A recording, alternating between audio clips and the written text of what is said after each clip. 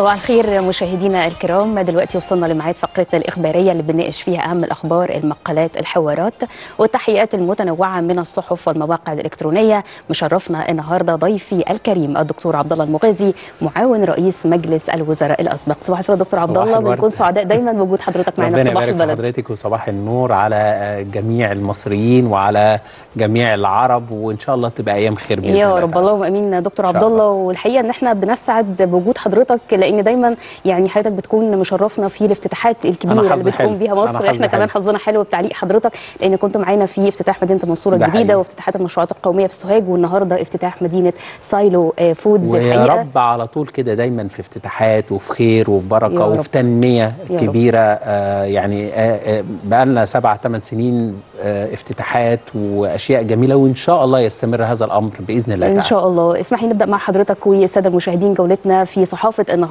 من أخبار رئاسة الجمهورية حيث شهد الرئيس عبد الفتاح السيسي افتتاح المرحلة الثانية من مدينة الصناعات الغذائية سايلو فودز. وعلى هامش الافتتاح أكد الرئيس عبد الفتاح السيسي إن سياسة مصر تتسم بالاعتدال والتوازن والانضباط الشديد تجاه الجميع في الداخل والخارج. مضيفا أرجو إننا نخلي بالنا بنعكس مدى فهمنا ومدى تقديرنا للعلاقات مع الأشقاء. وبالتالي لما يبقى في موضوع بيتم تداوله بدون أساس وملوش خلفية بنقعد ونتكلم في أمور قد لا يكون لها أساس من الصحة. طيب ليه؟ وهنمشي ورا بعض المواقع المغرضة اللي عاوزة تعمل فتنة بيننا وبين الأشقاء أقل حاجة نعملها نسكت وإن ما كناش نقول كلام طيب نسكت. حتى وسائل إعلامنا اللي إحنا مش بنتدخل فيها إحنا مش بنكتب إلا دايما لصالح تحسين ودعم العلاقات مش العكس. علاقتنا طيبة بالجميع وده منهج ماشيين بيه مش النهاردة. ومنذ توليت المسؤولية ده مسار بتنتهجه كدولة حتى في الأزمات والخلافات الكبيرة. كلام في غاية الأهمية وتوقيته في غاية الأهمية الحقيقة صحيح. دكتور عبد الله والحقيقة أن أنا عايزة أتوقف هنا عند أكتر من نقطة. أولا سيادة الرئيس عبد الفتاح السيسي دائما وأبدا ما يتحدث في كل الأمور التي تشغل بال كل مواطن مصري في كل الحقيقة يعني الشؤون سواء المحلية أو العربية أو الدولية. ويعني بي بيكون في استثمار جيد لمثل هذه الافتتاحات الكبرى. مبدئيا دكتور عبد الله وإحنا بنتحدث عن مدينة سايلو فودز واحدة من أهم المدن الخاصة بالصناعات الغذائية في مصر الآن. بنتكلم عن مساحة 135 فدان المرحلة الأولى 102 فدان تم افتتاحها في أغسطس 2021 أيوة. المرحلة الثانية بتضم أربع مصانع. طبعا بنتكلم عن خطوط إنتاج بقى آه، خمس خطوط إنتاج لإنتاج البسكويت بقيمه 20 طن في اليوم بقدرة إنتاج 20 طن في اليوم. آه، خمس خطوط إنتاج للمكرونة 500 طن في اليوم. بنتكلم عن أرقام كبيرة يا دكتور عبد الله. طبعاً. بالإضافة طبعا للعديد من الصوامع 14 صومعه ومطاحن دقيق. دكتور عبد الله يعني آه، يعني مصنع زي سايلو فودز وافتتاح المرحلة الثانية فيه. يعني الكثير ما يعول على إنه واحد من أعمدة الأمن القومي هو والعديد من المصانع في هذا المجال. دي أول نقطة محتاجين نعلق عليها. برضو في يعني الحقيقة بقى كلام سيادة الرئيس عبد الفتاح السيسي ألهام فيما يخص سياسة مصر المتزنة والتي تتسم بالتوازن والاعتدال والانضباط مع الأشقاء. والحقيقة ان سياده الرئيس أشار وإن إحنا ما بننساش ابدا لا تنسوا الفضل بينكم طبعاً. وقفه أشقائنا معانا في كل المواقف وإن إحنا كلنا لحمة واحدة وإيد واحدة وإننا لا ننساق وراء الشائعات خاصة في وقت يعني الفتنة بتدخل كده يعني صحيح. آه، يعني للأسف الشديد من بعض المواقع اللي إحنا مش متخيلين إن هي آه، يعني تكون هو ده الهدف الأساسي ليها كيف رأيت هذا الافتتاح ألهام وكلام سيادة الرئيس عبد الفتاح السيسي في هذا الأمر يعني طبعا نبتدي الأول بالافتتاح اتفضل. يعني إحنا كنا بنتحدث كثيرا على إن القاطرة لأي اقتصاد هي في الصناعة. وتحدثنا أنا وحضرتك كثيرا قلنا إن على الحكومة أن تلتقط طرف الخيط فيما يتعلق بهذه البنية التحتية الهائلة في عهد آه، سيادة الرئيس عبد الفتاح السيسي. إحنا عندنا بنية تحتية بيحتاجها أي استثمار وأي. صناعة هي قائمة على وجود بنية تحتية. عاوزين محتاجين كهرباء محتاجين غاز محتاجين طرق محتاجين آه، آه، أشياء كثيرة جدا تم توفيرها آه، آه، في الدولة المصرية في السبع سنوات الماضية. وبالتالي لابد أن يكون هناك صناعة. ولذلك آه، تحدث سيادة الرئيس على إن آه فعلا لازم يكون في صناعة و- والصناعة هي هامة جدا. وبدأنا إن إحنا نتحدث عن صناعات هامة زي الصناعات الغذائية. طبعا دي مهمة في التوقيتات ديت. ثم هنتكلم عن آه، الصناعات آه، المتعلقة بالزراعة زي الأسمدة زي ما سيادة الرئيس آه، اتكلم على في الافتتاحات الشهر الجاي إن شاء الله. آه، ثم الصناعات الدوائية ودي آه، الحمد لله برضو نفس الكلام. يعني بنتحدث عن أشياء مهمة جدا هتوفر علينا مليارات من الدولارات لأني في استيراد. الأول والآخر أنا الحاجات دي بستوردها فبالتالي أنا لما ابتدي أصنعها هوفر. في ده فيما يتعلق بالجزء. الأول. فيما يتعلق ب الجزء الثاني وهو ما يتعلق بالرشد السياسي والإعلامي.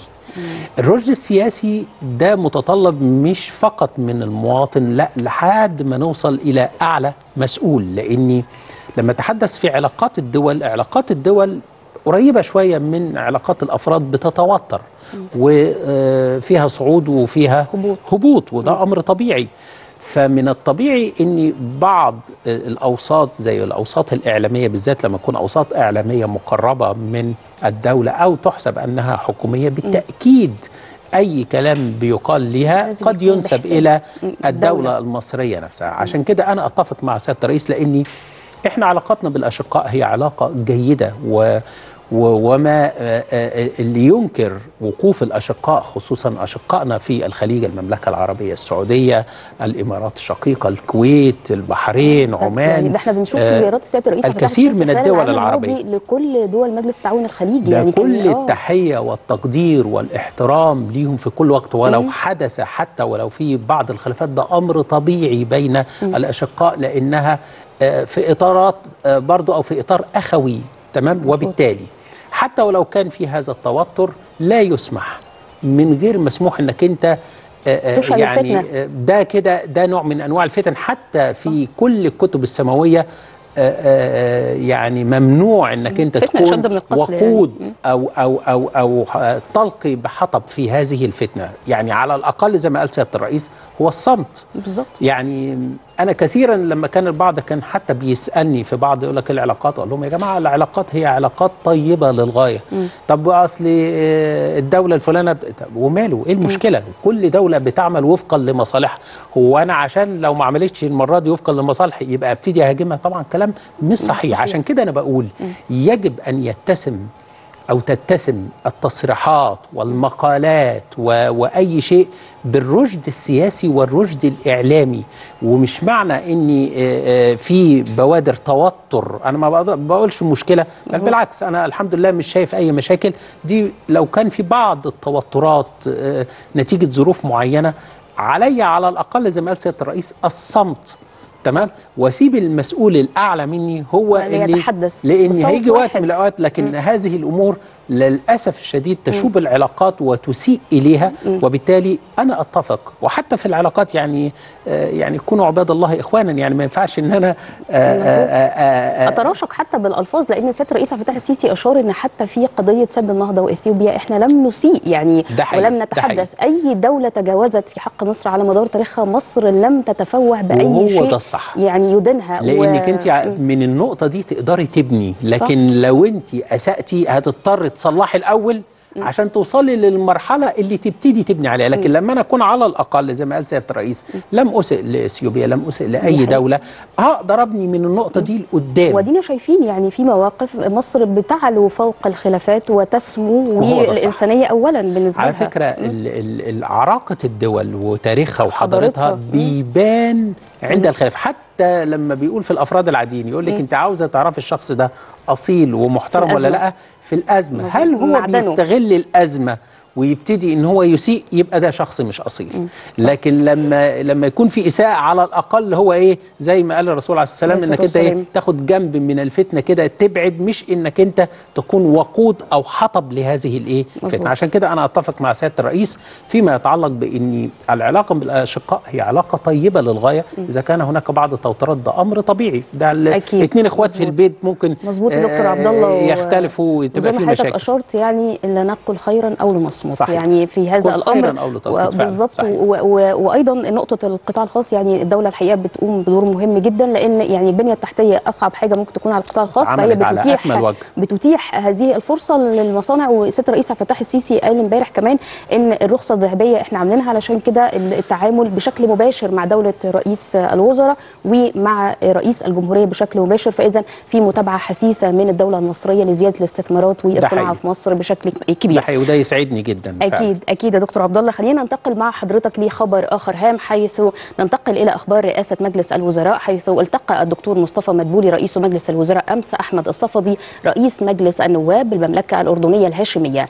وفي مستهل اللقاء رحب رئيس الوزراء برئيس مجلس النواب الأردني في بلده الثاني مصر مشيدا بما تشهده العلاقات بين القاهرة وعمان من تطور مستمر وتنسيق حول مختلف القضايا الإقليمية والدولية. ومؤكدا ضرورة مواصلة جهود توسيع نطاق مجالات التعاون الثنائي وتعميقها بما يعظم المصالح المشتركة للبلدين وفي إطار ما يجمعهما من روابط أخوية وأهداف استراتيجية. كما أكد الدكتور مصطفى مدبولي على قوة علاقات الأخوة والتقدير التي تجمع بين الرئيس عبد الفتاح السيسي واخيه جلالة الملك عبد الله الثاني. ولذا ينبغي البناء على هذه الصلات القوية بين زعيمي البلدين من أجل مزيد من التعاون في شتى المجالات. كما تطرق إلى تنامي العلاقات الثنائية في مختلف المجالات معربا عن شكره للرعايه الكريمة التي يحظى بها المواطنون المصريون العاملون في الأردن من جانب الحكومة الأردنية في ظل توجيهات جلالة الملك عبد الله الثاني. يعني حضرتك كنت لسه بتتكلم دكتور عبد الله عن طبعاً. العلاقات ال- ال- الأخوية والعلاقات المصرية ولعل يعني الخبر ده هياخدنا شوية لجزء من تخصيص العلاقات العلاقات المصرية الأردنية العراقية. لأن أيوة. في تعاون ثلاثي يعني قوي ومهم جدا. شفنا زيارات متبادلة بين الزعماء وبين رئيس الوزراء في العراق أكثر من مرة. في بغداد مؤتمر بغداد للتعاون والأمن. شفنا أكثر من مرة شفنا زيارة زيارة وصفت بالتاريخية لسيادة الرئيس عبد الفتاح السيسي لبغداد شفنا شركات كبيرة بتقوم بإعمار ال- العراق. شفنا الحقيقة كمان الأردن زيارات متبادلة. وفي مشروع يعني وصف في آه، آه، 2020 بأنه مشروع الشام الجديد وإن المشروع ده هيكون فيه ربط مهم بين العراق صحيح. ومصر والأردن وده يعني شغالين عليه بقيد التنفيذ. طبعا ربط كهربائي أمن غذائي العديد من التبادلات وتعظيم الاستفادة من أواصر العلاقات. آه، آه، فايده ده آه، دكتور عبد الله في الوقت اللي بيعاني فيه ال- المجتمع العالم كله من أزمات اقتصادية. خلي بالنا ان آه، العلاقات المصرية الأردنية العراقية علاقات قديمة. إحنا بنتحدث عن يعني من من الدول ال- ال- العتيقة في المنطقة ودول محورية. يعني المحور ده محور العراق مصر الأردن هو محور هام جدا جدا جدا. وعلى فكرة آه، آه، ممكن يتعمل العديد من تبادل المشروعات وال- والأشياء الاقتصادية ما بين مصر والأردن والعراق. وبالذات مصر والأردن يمكن آه، العراق يمكن عشان التحولات الشديدة اللي حصلت بعد غزو آه، الامريكي العراق. وده طبعا أدى إلى مشاكل كثيرة يمكن بيعاني منها العراق حتى الآن. ونتمنى طبعا للشعب العراقي كل خير إن شاء الله ويعدي من هذه المحنة الشديدة. لكن آه، علاقة مصر بالأردن هي علاقات طيبة للغايه علاقة جلالة الملك عبد الله بسيادة الرئيس عبد الفتاح السيسي علاقات أكثر من طيبة على فكرة. العلاقات آه، شهدت تطور كبير جدا وبتزداد عمقا وقوة. وشفنا العديد من المناسبات العربية والمناسبات العالمية وجود مصر بجوار الأردن. وده شيء طبعا بيساعدنا جدا لأني بالذات الدول العربية لما تكون دول حدودية لها علاقة متقاربة. بيكم ده ده ده بي بينعكس على الشعبين انعكاس بيطمن. إيجابي. وشفنا العلاقات الطيبة وتوصيات جلالة الملك عبد الله بال العاملين المصريين. ال- ال- ال- الشعب المصري عموما وأي حد من العاملين في الأردن. توصية شديدة جدا. فلما يكون في مثل هذه الزيارة آه، رئيس مجلس النواب آه، الأردني آه، ولدولة رئيس مجلس الوزراء المهندس مدبولي طبعا ده بيسعدني ده معناه إن إحنا ماشيين في الطريق الصح. معناه إن الاتفاقيات مش مجرد حبر على ورق لا دي هتبتدي إن هي تتفعل على الأرض وده هينعكس ايجابا على الشعبين المصري والأردني في شتى المجالات. وخصوصا المجالات السياسية والاقتصادية. إحنا على فكرة هناك تنسيق غير طبيعي وعالي المستوى ما بين مصر والأردن في أعلى قياداتها متمثلة في سيادة الرئيس عبد الفتاح السيسي وجلالة الملك عبد الله. وبالتالي إحنا شايفين ده يعني كتير جدا. آخر مرة لما شفنا في دبي لما سيادة الرئيس موجود في أبو ظبي، آه. وكان برضو آه، جلالة الملك عبد الله. آه، موجود وبالتالي آه، ده معناه إن إحنا ماشيين في الطريق الصحيح. ولذلك أنا بقول لك أنا بعتبر الفترة دي هي فترة العصر الذهبي من العلاقات المصرية العربية العربية آه كمان يعني علاقات طيبة وقوية للغاية بكل تأكيد ويعني يا رب دايما كده إن يا شاء الله يا هذه رب، العلاقات متجمعين دايماً يا شاء الله على خير. وتصب في منفعة البلدين والشعبين بإذن الله ده حقيقي. آه لازلنا مع حضرتك الساده المشاهدين مع أخبار مجلس الوزراء حيث التقى الدكتور مصطفى مدبولي رئيس مجلس الوزراء اللواء طبيب بهاء الدين زيدان رئيس الهيئة المصرية للشراء الموحد والإمداد والتموين الطبي وإدارة التكنولوجيا الطبية لمتابعة عدد من ملفات العمل بالهيئة خلال اللقاء استعرض اللواء بهاء زيدان عددا من الموضوعات الخاصة بجهود توفير الأدوية والمستلزمات الطبية وكذا خطة التنفيذ المرحلي لمشروع المخازن الاستراتيجية للمنتجات والأجهزة الطبية. كما استعرض الجهود المبذولة مع عدد من شركات ومصانع الأدوية العالمية من أجل العمل على توطين صناعة عدد من الأدوية. كما وجه مدبولي بعقد اجتماع خلال الفترة القليلة المقبلة بحضور وزراء الصحة والسكان والمالية والتجارة والصناعة ورئيسي هيئة الشراء الموحد وهيئة الدواء. وكذا رئيس غرفة صناعة الدواء بهدف وضع خريطة طريق لتيسير وتبسيط إجراءات إصدار تراخيص مصانع الأدوية والمستلزمات الطبية. وكذا تحفيز هذا القطاع على التصدير للأسواق الخارجية. جينا للنقطة اللي مرتبطة برضو بالموضوع الأولاني، إحنا كنا بنتحدث عن الرخصة الذهبية. وتهيئه مناخ الاستثمار، مناخ. الاستثمار فيه صناعات كتير زي ما حضرتك أشرت في البداية دكتور عبد الله صناعات غذائية وصناعات دوائية. بس هنا محتاجين نتوقف في نقطتين، النقطة الأولى فكرة إن صناعة الدواء في مصر هي صناعة قديمة، يعني طبعاً. لو إحنا بنرجع للتاريخ فبنتكلم من شركات كثيرة. 1839 يعني من القرن ال 18 أي لدينا الآن فيما يفوق 194 مصنع آه، دواء والإنتاج بالنسبة للإنتاج العالمي حوالي بنتكلم عن 10% فده أيوة. إنتاج أكيد ليس بالقليل طبعا آه، في أيضا تجربة مصرية هامة بإنشاء مدينة خاصة بالدواء في الخنكه محافظة القليوبية أيوة. ولأنه واحد من أعمدة أيضا الأمن القومي والاقتصاد القومي طبعاً. في مصر يعني شفنا ده جداً. كورونا بالذات. كورونا كان في حروب لولا إن إحنا عندنا نسبة من الدواء بنصنعه كان زمان الأزمة تفاقمت بشدة يعني. مظبوط طب شايف يعني هذه التصريحات الهامة للدكتور مصطفى مدبولي تأثيرها وإزاي ممكن نسرع من وتيرة آه، الاستثمار والتصدير للدول الخارجية في الدواء المصري طيب خلينا نشوف آه، هل الدولة المصرية فعلا آه، لديها الرغبة في وجود استثمارات؟ طبعا الإجابة نعم، الدليل على كده ما فعلته الدولة المصرية متمثلة في سيادة الرئيس ودولة رئيس مجلس الوزراء فيما يتعلق بالرخصة الذهبية، وده اتكلمنا عنه في الاستثمارات كتير مع حضرتك مظبوط. هنا، والدليل على كده استجابة دولة رئيس مجلس الوزراء بتعيين رئيس هيئة العامة للاستثمار.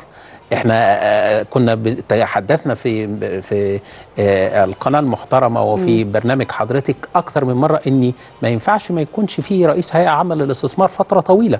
فتم تعيين رئيس عام الاستثمار وقيادة محترمة بشدت جدا حاليا. مرة طبعا. طبعا. آه، آه، آه، رئيس الهيئة عام الاستثمار حاليا قيادة محترمة جدا قيادة واعية جدا. أصبح لدينا ما يسمى بالرخصة الذهبية رئيس الجمهورية ورئيس مجلس الوزراء. مظبوط. كل ده بينعكس إيجابي على الصناعات في مصر وبالتالي كل ده شيء إيجابي لمصلحة الدولة المصرية وللصناعات. المخازن دي مهمة؟ طبعا مهمة. إحنا شايفين لولا وجود الصوامع لتخزين القمح لولا وجود مخازن زي كده والترخيص ليها والسماح ليها آه، لا قدر الله أي أزمة كبيرة المخازن دي بتنفعك في هذه التوقيت. عشان كده مزيد من التراخيص لهذه المخازن وهذه المصانع هو ينعكس ايجابا على وفي نفس الوقت ما هو مع مرور الوقت هيوفر لنا برضو دولارات. عشان كده اتجاه الدولة وبقوة. في هذه المجالات بالذات المجالات الطبية وغيرها ده أمر في غاية الأهمية. بكل تأكيد واسمح لي إن يعني نختم جولتنا في صحافة النهارده. دكتور عبد الله مع حضرتك بهذا الشأن الدولي حيث أعلنت مصادر في الخارجية الإسرائيلية بأن أوكرانيا تقدمت بقائمة من الطلبات لإسرائيل وذلك قبيل زيارة وزير خارجية إسرائيل لكييف. وهذه الزيارة هي الأولى لوزير إسرائيل لكييف منذ نحو عام وتحديدا منذ انطلاق العمليات العسكرية بين روسيا وأوكرانيا. وكانت الخارجية الخارجية الأوكرانية قد طالبت إسرائيل بتمديد وتنديد واضح للعملية العسكرية. الحقيقة يعني آه، الخارجية زلنا. الأوكرانية ما زلنا في الحرب وال- الأوكرانية. والخارجية الأوكرانية بتطالب إسرائيل بأنها تندد بالعملية الروسية وفي نفس الوقت كان في موقف حصل في أواخر آه، الشهر الماضي أواخر يناير أيوة. بأن أمريكا طلبت من إسرائيل مد أوكرانيا بصواريخ هم بيتعجلوا آه. مواجهة إسرائيل مع روسيا ده وده. خلي بالك إن إسرائيل جات لها فترة من فترات كانت قريبة جدا من روسيا خصوصا فيما يتعلق بسوريا تحديدا مظبوط. وكان في تقاربات شديدة جدا جدا جدا في مظبوط. وقت من الأوقات دلوقتي للأسف الشديد بيحاولوا إن هم يعملوا مواجهة آه. ما بين روسيا وما عشان بين كده إسرائيل ده بيفسر دكتور عبد الله إن إسرائيل اتهربت من طلب أمريكا بمد أوكرانيا بصواريخ. وقالت إنها غير صالحة للاستخدام لأن مش من مصلحة. مش من مصلحة يعني أنا أنا أعتقد إن الضربات حتى اللي بتعملها آه إسرائيل ل آه، آه، أجزاء في سوريا وخصوصا بيتعلق بالميليشيات إيران الموجودة في سوريا هو بالتنسيق بالتأكيد بين سوريا وبين روسيا وما بين إسرائيل آه. فلو هي ساعدت أوكرانيا بت- ومدتها بهذه الطلبات روسيا هتروح تساعد إيران بالتأكيد هتفقد الأد- هذه الميزة. آه، آه، آه، القاده في إسرائيل ما أعتقدش إن هم أغبياء إلى درجة إن هم يلبوا كل الطلبات آه، آه، لأمريكا. الأمريكية والطلبات الأوكرانية. الأوكرانية ويفقدوا الميزة دي لأن هو عندها خط مواجهة مفتوح في منطقة الجولان وسوريا صح. فلو فقدت هذه الميزة وأصبحت روسيا في مواجهة إسرائيل فيما يتعلق في المنطقة أقول حتى في, في سوريا فقط. ده إسرائيل هتبقى هي الخاسر الأكبر. أنا أعتقد كل هذه الطلبات وكل هذه الضغوط لن تكون الاستجابة كما يظن في أوكرانيا أو في الولايات المتحدة الأمريكية. يعني مثلا من استجابة 100% بيتوقعوها لا الاستجابة هتكون 10 أو 15% لأن إسرائيل ليست بالغباء إن هي تستجيب لهذه الطلبات وتفقد العلاقات آه، مع آه، روسيا وبالتالي تفقد ميزة كبيرة قوي قوي قوي فيما يتعلق بخط آه. المواجهة المجال الجوي المفتوح مع, مع سوريا ده وال- يعني واضح جدا إن في بيبقى آه، آه، تنسيق في كثير من المواقف مظبوط يعني نأمل إن شاء الله يعني دايما كده بنختم مع حضرتك نتمنى بهذا الحرب. عموما تنتهي يا ان شاء رب الله يا رب ويعم السلام سائر بلاد الدنيا كلها يا رب. إن شاء الله آمين. بشكرك شكرا جزيلا ضيفي الكريم الدكتور عبد الله المغازي معاون رئيس مجلس الوزراء الأسبق على هذه القراءة المتميزة كالمعتاد دكتور عبد الله دكتور. عبد الله وإحنا بنختم مع حضرتك رحت قبل كده حي الغورية آه طبعا رحت حي الغورية طبعا طبعا طبعا طيب يعني حي أنا الغورية ده من أجمل الأحياء الشعبية في مصر دي حقيقة. من أجمل المناطق حوالين آه، مسجد سيدنا الحسين مظبوط. منطقة جميلة للغاية يعني أنا رحت برضو زي حضرتك لكن ممكن يكون في بعض السادة المشاهدين في ما اماكن متفرقة آه. بمصر ما راحوش. فبندعو حضراتكم دلوقتي لمشاهدة تقرير كده يعني بيحكي قصة وحكايه حي الغورية